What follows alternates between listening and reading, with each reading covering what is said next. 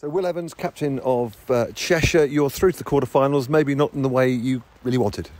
No, um, bit of a damp squid today. Obviously, we've gone through with the rain off, um, but I think essentially the main thing is that we've we've managed to get out of the group um, into the knockout stages. And some tough games, t- uh, tough games in there with uh, Cumbria, Shropshire, and Northumberland. Yeah, some really tough um, tough games. Uh, I suppose it shows our strength in our side that we've managed to progress. Two great wins. Obviously, we didn't start off fantastic against a uh, strong Cumbria side, um, but then obviously disappointed by today's rain off, but fantastic to qualify from the group. And you alluded to strength and depth there. Um, you had to change the whole side last time out, didn't you? So it's good to be back. We did. We had to change 11 players, um, which obviously led to selection uh, selection issues. Um, but end of the day, that shows the strength and depth of the county. We've got a great pedigree of players to pick from. Um, two different 11s. We've got two wins. So moving forward into the next round, we've got some selection problems, but very good problems to have.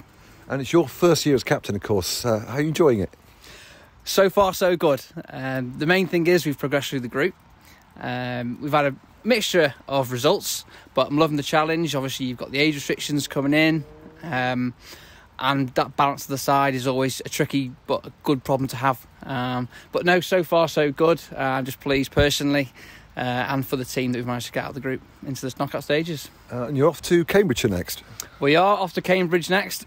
a strong Cambridge side uh, with a good friend uh, Wayne White. So that'll be a good matchup for us. Um, but yeah, obviously we've got lots of lots of players as we mentioned before to pick from. Um, strength and depth, so we'll be going there with our strongest side and looking to play our best cricket. And then, of course, next week you start the three-day game. Uh, what's the thinking behind that? It's all back to uh, blocking and leaving next week. So um, yeah, it's it's great. Look, the games come uh, quick and you know just thick and fast now, whether it be three day or one day. Um, but it's great to get the lads back together for the three days and get stuck into that and hopefully get off and keep momentum with a win. Great stuff. Okay, well, all the best. Thank you very much. Thanks, mate. Sorry about that.